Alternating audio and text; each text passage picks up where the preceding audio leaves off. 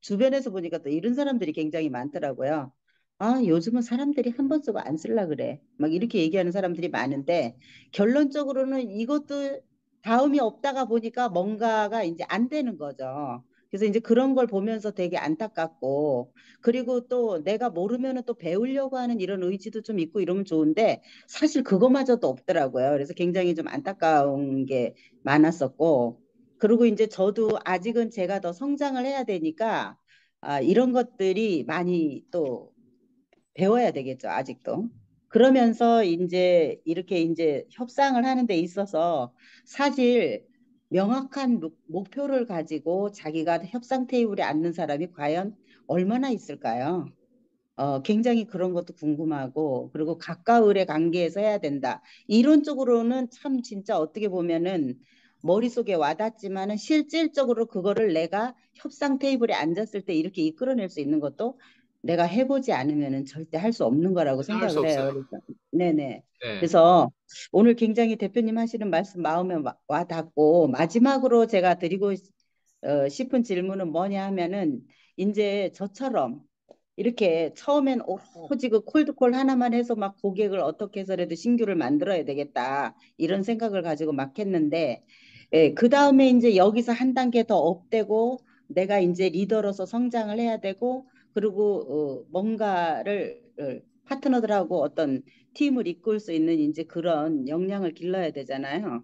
근데 어떻게 하면은 그 영업에서 정말 그 성공적인 그런 영업 관리자가 될 수 있을까요? 전 이런 것도 굉장히 궁금해요. 음, 대표님은 어떻게 생각하시는지.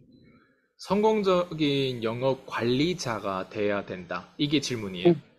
네네. 어떻게 하면 될 수 있는지, 무슨 자세로 할 수, 어떤 자세를 가지고 해야 되는지, 그러면서 팀은 일단, 어떻게, 네. 일단 저는 영업 관리자에 대한 그, 그거를 까보면 개입하겠다는 뜻이에요. 어떻게 음, 성공적으로 개입할까? 이 뜻이잖아요. 영업 관리자. 어떻게 음, 성공적인 열- 영업 관리자가 되- 될 거냐? 이거를 질문하는 게 어떻게 보면 어떻게 내가 성공적으로 이 사람한테 잘 개입할 수 있을까? 이 질문이잖아요. 네네. 네. 영업에서 사람들이 관리라고 하는 영업 그런 고객 관리라고 하는 거를 되게 유명해 하더라고요. 예. 고객 관리는 어떻게 할 거, 뭐 시간 관리는 어떻게 하고, 뭐 이런 것들이 되게 유명하더라고 보니까. 근데 그거 아세요? 제가 지금까지 영업도 해보고 이제 제가 지금 하고 있는 사업을 교육 사업을 쭉 하면서 12년 동안 제가 깨달은 게 딱 한 가지예요. 뭐냐면 관리에 집중하는 사람들은 성공한 사람을 못 봤어요. 아, 그렇구나. 제 자신도 그렇고. 네. 음, 개입을, 그러니까 개입을 하려고 하는 거잖아요, 자꾸. 그러니까 음, 개입을 하려고 한다는 건 고객 관리, 말은 듣기 좋아요. 그리고 실제로 또 그런 키워드가 있어요. 커스터머 매니지먼트라고 있잖아요. 예. 음, 어, CRM인가? 뭐, 아, 그 영어, 영어 전문 용어도 있는데, 어쨌든. 그리고, 근데 그거 아세요? 관리를 하다 보면요. 사람이 관리하기 위해서 우리가 태어난 게 아니에요. 우리의 본질은 뭐냐면 자유를 원하거든요. 자유가 있는 상태에서 내가 개입하는 거랑 개입해가지고 언젠가 자유가 있을 거랑 이건 다른 개념이에요. 네.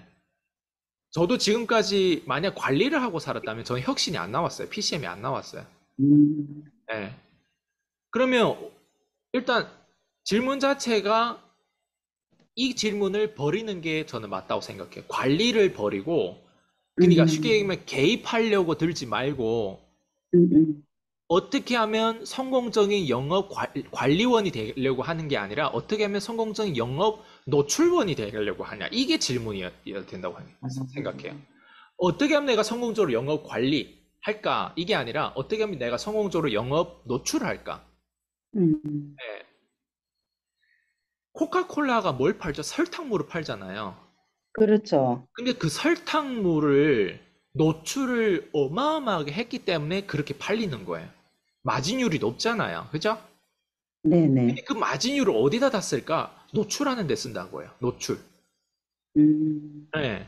그러니까 우리가 그 성공자들을 배우면 단순히 백만장자 중산층 성공자들 말고 거대 공룡 기업들에 대한 그 성공의 그 마지막 그 끝점들을 보면 제 멘토 그랜 카돈 8조 자산가잖아요. 근데 네네네. 그분도 누구를 연구하냐면 워런 버핏이라든가 이런 뭐 저기 뭐예요. 뭐 애플이라든가 구글이라든가 아마존이라는 이런 회사들을 연구해요. 근데 그 회사들의 끝점을 가- 다 보면 어디에 집중하냐면 첫 번째 노출에 집중해요. 노출. PCM에서도 깔때기 법칙 있잖아요. 노출이 제일 네. 먼저 집중하는 거예요. 그래서 음. 저는 특히 이, 이 내용을 보면 아, 또 와닿지 않는 얘기를 할 수도 있다. 아이스강이 지금 아니에요. 음. 이거를 우리 일반 개미들한테 가장 필요한 내용이에요. 일반 음. 개미들은요, 영업 관리를 배워야 됩니다 하면 관리를 배우려고 하고요. 영업 노출을 배워야 됩니다 하면 노출을 배우려고 하고요. 영업 뭐 또 이거를 배워야 됩니다 하면 이거를 배우고요. 영업 무슨 뭐, 뭐, 뭐 어떤 명상을 배웁니다 하면 명상 배우려고 왔다 갔다 그렇게 시간이 다 지나가요. 그리고 결국엔 뭐다? 제자리 걸음이라는. 이건 원칙을 제가 똑바로 하는 거예요, 지금. 첫 번째, 네네네. 죽을 때까지 어디에 집중해야 되냐면 영업 관리에 집중하는 게 영업 노출에 집중해야 돼요. 오케이. 예. 그게 영업인들이 무조건 집중해야 되는 부분들을 나머지는 다 버려도 돼요. 예. 음. 생각해봐요. 일반 사람들이 영업 노출에 집중하려면 뭘 해야 될까요? 다른 사람이. 알려져야 될 거 아니에요. 그렇죠. 저도 개미예요, 개미. 개미 멘토, 개미잖아요. 그죠? 그러면 저희 음. 어디에 집중해야 돼요? 영업 관리에 집중할까? 아니에요.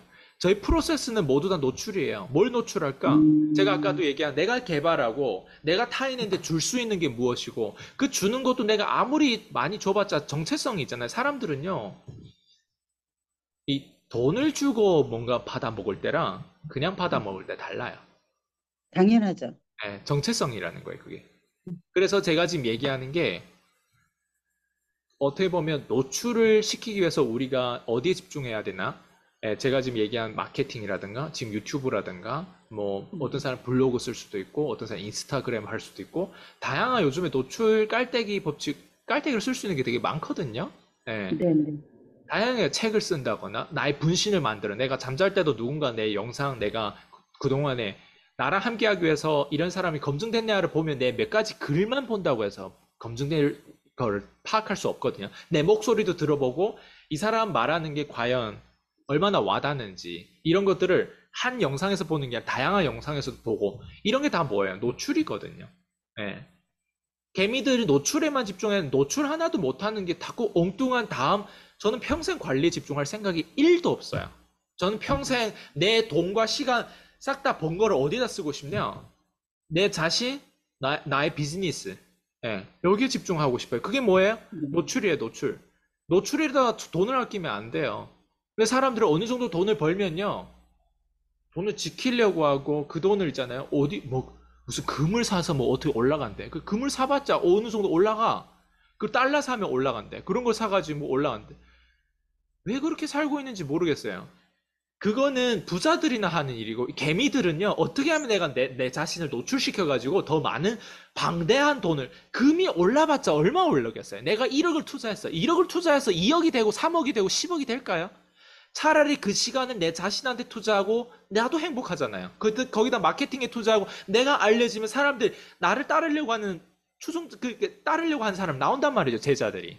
그러니까 그런 사람들로 인해서 더 많은 사람들을 도와주고 하면 이게 사이클이 이렇게 돌아야 되는 거 아닐까? 그러면 돈도 더 많이 벌지만 그 돈을 또 어디다 벌겠어? 어, 어디다 투자해요?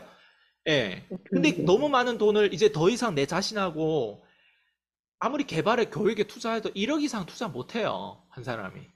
1년에. 그잖아요. 네. 그랬을 때 그 개발에 어느 정도 맥스가 내가 10억을 버는데 그럼 10% 어, 내 개, 개발에 투자해. 그럼 나머지 9억을 그럼 다 내 마케팅에 투자할까? 그럴 수도 있겠지만 그럴 수 있는 형편이 아니면 또 다른 데다 또 투자한 그때 뭐 부동산을 산다거나 그때 무슨 뭐, 그뭐 금을 산다거나 달러를 산다거나 할 수 있잖아요.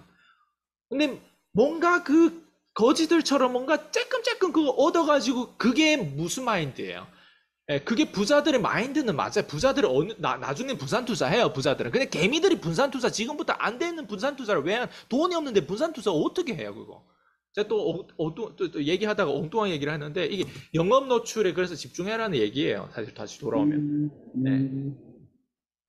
아유, 잘 들었어요. 그리고 제가 어, 어떻게 보면은 되게 일반적인 영업하는 사람들이 하는 그런 질문을 드리게 됐는데 이게 결국은 어, 노출이 중요하다는 얘기를 하시는 거네요. 네. 어, 저도 그러면 이제 오늘 제대로 배웠으니까 어, 다음부터는 이제 물론 지금도 노출에 신경을 쓰고 있지만 아직 많이 서툴고 어 그리고 이제 그 죽을 때까지 이 교육을 들어야 된다는 거를 이제 대표님을 통해서 알게 되고 그 다음에 이제 사실 일반 사람들이 어떻게 보면은 다 진짜 중산층도 그렇고 누구나 다 자기가 가지고 있는 게 얼마냐에 따라서 그것만 지키려고 다 노력하는 거 맞아요. 저도 대표님을 만나기 전에 그랬어요. 뭐 금도 한번 사보고 진짜 뭐 남들이 뭐 된다 그러면 그것도 해서 해보고 그런 거를 할 줄 몰랐어요. 근데 지금은 어 내가 이제 돈을 벌면 뭘 해야 되겠다는 그런 명확성이 보이고 방향성도 보여요. 그래서 이제 요즘에 와서는 제가 생각하는 게 뭐냐면은 이렇게 영업을 하는 사람의 끝점은 결국은 메신저 사업이구나. 이런 생각을 굉장히 많이 하거든요. 그래서 이제 물론 제가 어디까지 해서 어떻게 갈지는 모르겠지만 어쨌든 제가 할 수 있는 한 저는 최, 최선을 다하려고 하거든요. 근데 이제 요즘은 대표님을 통해서 제가 너무 많은 걸 알고 그리고 굉장히 제 시야가 넓어졌고 네. 그리고 이 PCM을 통해서 정말 어 누구나 다 들어오면은 저는 이렇게 생각을 해요. 제가 만약에 이렇게 저 같은 경우에 나이도 먹고 어 사실 남들보다 공부하는 부분에 있어서는 굉장히 제가 열악한 조건이라고 봐야 돼요. 왜냐하면은 기억력도 네. 좋은 건 아니잖아요. 그죠? 들으면 잊어먹고 남들 한 번 봐도 되는 거 저는 두 번, 세 번 봐야 돼요. 그러면 이 영상을 보시는 분들은 어 만약에 이걸 보시게 되면은 뭔가 본인들이 정말 이 PCM에 들어와서 뭔가 한번 제대로 한번 배워봤으면 그러면서 자기가 그 살아가는데 어떤 삶의 방향성이라든가 그런 것들을 정확하게 알고 간다면은 시간 낭비하지 않고 어 그러면서 정말 부자가 될 수 있는 그런 길을 알고 있잖아요. 그래서 오늘 굉장히 감사했어요. 그리고 저도 그 일반 영업하는 사람들의 아직도 그 마인드, 남들이 하는 그거를 가지고 대표님께 질문을 드렸는데 노출이 중요하다는 얘기 예, 꼭 가슴에 담고 열심히 한번 노력하겠습니다. 네. 감사합니다, 대표님 오늘도 오늘. 멋졌습니다. 네. 네, 수고하셨습니다. 감사합니다. 네.